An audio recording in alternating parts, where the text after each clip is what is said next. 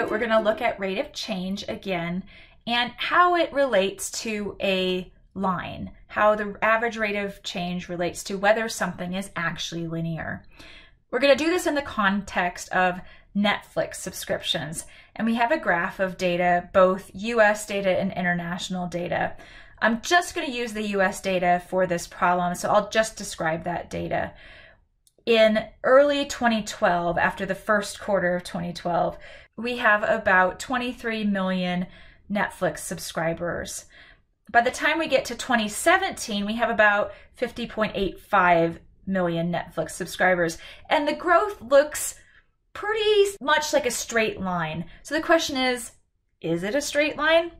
Let's find out. I've gone ahead and estimated the data for 2012 to 2017 using the end of the first quarter as a measure, since that's where the graph starts. The number of subscribers counting up from 2012 to 2017, going year by year, is 23.41, 29.17, 35.67, 41.40, 46.97, and 50.85.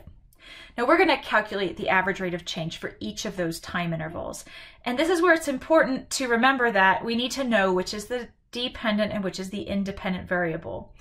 So the year is the thing we can carefully control in our observations. So the year is the independent variable the Netflix subscribers in millions, that's the thing we are observing. So that's the dependent variable.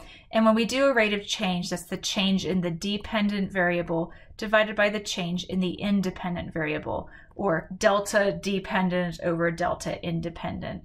So in this case, that's going to be change in subscribers over change in time. And in our problem, the change in time is always going to be one year because we do have nicely spaced data and it's always one year apart. So if we're counting time in years, which I think we should totally do.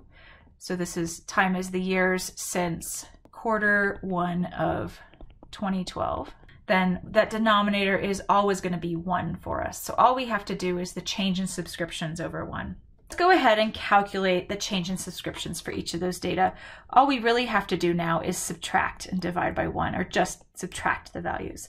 So the first one, I'll just write out the calculation. It's 29.17 minus 23.41. And when we do that calculation, we get 5.76. We do that same subtraction pattern over and over. So for the next one, 35.67 minus 29.17, and that gives us 6.5. The next one, 41.40 minus 35.67, that gives us 5.73. The next one, 46.97 minus 41.40, that gives us 5.57. And last, 50.85 minus 46.97, which gives us 3.88. Now let me just repeat just the rates. We've got 5.76, 6.7, 5.73, 5.57, and 3.88. And you can see that they're not exactly the same, but three of them are close to 5.6 or 5.7. And then we have one that fluctuates way up from that and one that fluctuates way down from that.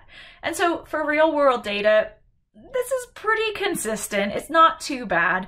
In fact, I thought I would calculate an average for this data just to see what that was. And so if I add up all five of those numbers and divide by five, I get an average of 5.5. So you can see that 3.88 number really brings the average down. Now, for something to be linear, the average rate of change does need to be reasonably constant. And so is this one linear? And I would say that from my experience with real world data, this is not too bad uh, of a data set. So I'm gonna I'm gonna go with it's reasonable. Is it exact? No, but is it reasonable? Yes. The average is around three of the values that are in the set, so I think that's pretty good.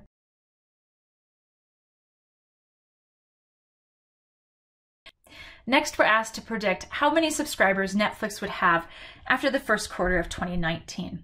Now we know how many subscribers Netflix has in 2017. That's 50.85 million. If we add 5.5 million every year, then we would add 5.5 million in 2018 and we would add 5.5 million in 2019.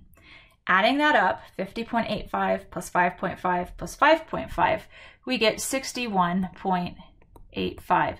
So we're predicting that they will have 61.85 million subscribers in the US in 2019.